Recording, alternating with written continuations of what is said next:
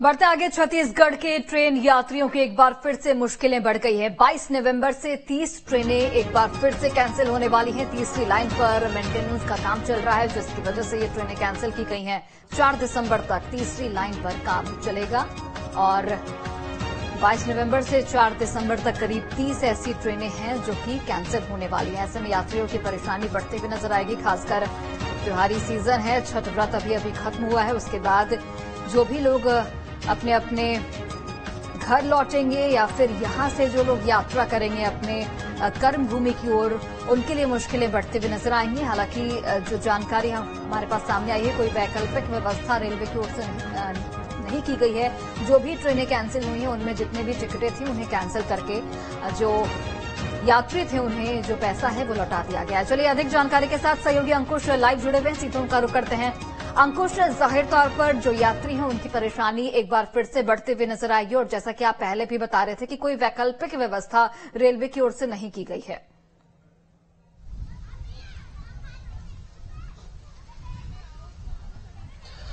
देखिए, सबसे बड़ी परेशानी का विषय तभी बनता है जब रेलवेज की तरफ़ से ट्रेनें तो कैंसिल कर दी जाती हैं, लेकिन वैकल्पिक व्यवस्था नहीं की जाती। इसके चलते अब यात्रियों को परेशानी जो है, वो और बढ़ती हुई दिखाई देती है। एक बार फिर से छत्तीसगढ़ के रेल यात्रियों के लिए बुरी खबर है, परेशानी भरी खबर है कि 22 नवंबर से करीब 30 ट्रेनें रद्द रहेंगी। ये वो ट्रेनें हैं जो छत्तीसगढ़ से बनकर चलती हैं या छत्तीसगढ़ से होकर गुजरती हैं। सबसे महत्वपूर्ण बात यह है कि वर्तमान में त्यौहार का सीज़न है और त्यौहार के सीज़न के चलते एकदम से तीस ट्रेनें रद्द कर देना लोगों के लिए इसलिए परेशानी का विषय है, क्योंकि जिस तरीके के त्योहार छठ का महापर्व है और छठ महापर्व के दौरान ऐसे हज़ारों उत्तर भारतीय हैं जो छत्तीसगढ़ में निवास करते हैं, छत्तीसगढ़ में रहकर अपना रोजी रोटी चलाते हैं और यहाँ पर रहने के साथ साथ अगर त्योहार का सीज़न है तो वो अपने घर गए हुए हैं। वापसी के लिए कोई व्यवस्था जो है वो ट्रेन थी और ट्रेन अचानक से कैंसिल हो गई है तो अब जो है परेशानी बढ़ती हुई दिखाई दे रही है। हालाँकि ट्रेन की तरफ़ से ये ज़रूर बताया गया है कि तीसरे रेलवे लाइन में जो है कनेक्टिंग का काम के चलते ये ट्रेनें रद्द रहेंगी। परेशानी जो है वो 25 नवंबर से 4 दिसंबर तक रहने वाली है। मतलब बड़ा अंतराल रहेगा और इस लंबे समय में लोगों को अब खुद ही अपनी व्यवस्था करनी होगी।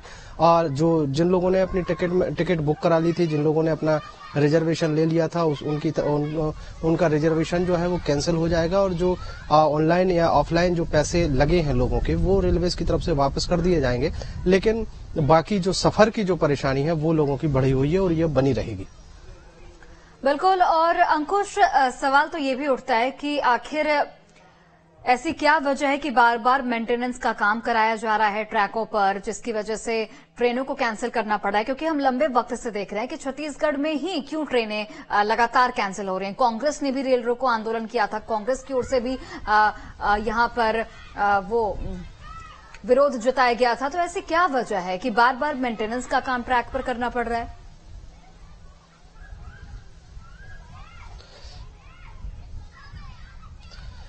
देखिए छत्तीसगढ़ में रेलवेज की रेलवेज की तरफ़ से ट्रेनों को कैंसिल करने का सिलसिला ये आज अभी नया नहीं है। करीब हम देखें तो लगभग तीन साल होने को जा रहे हैं। हम्म। कोरोना काल शुरू हुआ था और कोरोना काल के शुरू होने के साथ साथ ही ट्रेनों का रद्द होने का सिलसिला जो है वो शुरू हुआ तो जो अब तक थमता हुआ दिखाई नहीं दे रहा है। हज़ारों ट्रेनें जो है पहले भी कैंसिल की जा चुकी की जा चुकी हैं और वो सिलसिला अभी भी जारी है। अब ऐसे में आ, सवाल ज़रूर उठता है। स्वाभाविक है कि एक लंबा वक्त बीत जाता है उसके बाद भी इसी तरीके की स्थिति है लोगों को परेशानी हो रही है तो आखिर इसके पीछे के कारण क्या है? हालाँकि रेलवे की तरफ़ से कभी तीसरी रेलवे लाइन में काम मेंटेनेंस के मेंटेनेंस का हवाला दिया जाता है कभी कनेक्टिविटी का हवाला दिया जाता है। इन हवालों से लोगों की परेशानी जो है वो हल नहीं होती। यही कारण है कि छत्तीसगढ़ सरकार या छत्तीसगढ़ कांग्रेस को बार बार मौका मिलता है और बार बार निशाना साधा जाता है।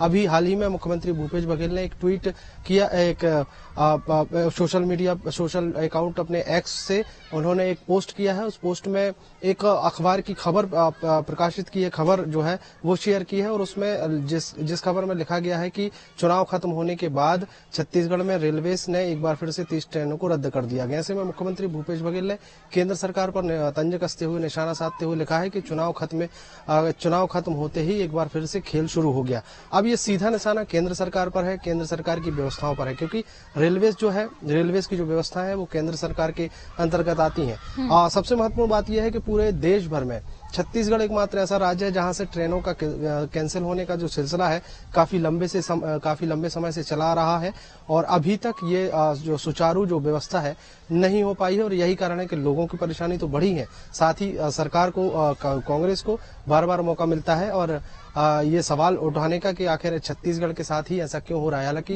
ये बहुत महत्वपूर्ण सवाल है सवाल इसलिए है कि क्योंकि ये जो व्यवस्था है ये आम लोगों से जुड़ी हुई है क्योंकि बाकी अगर साधन की बात करें रेलवे में रेलवे से सफ़र करने वाला व्यक्ति जो है अगर वो फ़्लाइट का सफ़र जो है कर पाता है या फ़्लाइट के जो दाम हैं जो रेट्स हैं वो अगर उसके बस में होते तो शायद वो ट्रेन से सफ़र नहीं करता है। तो इसलिए सवाल उठते हैं। लोगों को भी लोगों के जहन में भी इस तरीके के सवाल उठ रहे हैं और अब लोग जो है इसका विरोध दर्ज कराते हुए लगातार बिल्कुल अंकुश और देखना होगा कि ये जो